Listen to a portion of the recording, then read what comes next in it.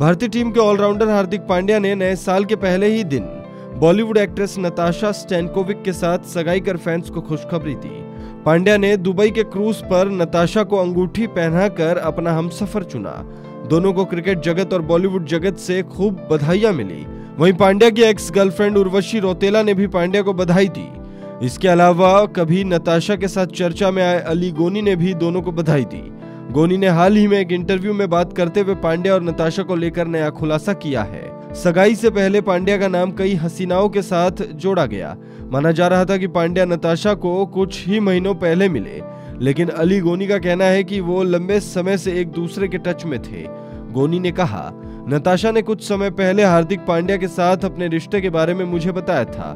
नताशा हार्दिक से बहुत प्यार करती है और हार्दिक भी उनसे प्यार करते हैं। मुझे याद है कि नच बलिए के दौरान भी नताशा हार्दिक को फ़ोन किया करती थी। ये दोनों एक दूसरे के साथ अच्छे लगते हैं और मैं नताशा के लिए काफ़ी खुश हूँ।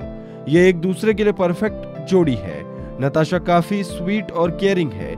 बता दे, नताशा ने फ़िल्म सत्याग्रह से बॉलीवुड में कदम रखा।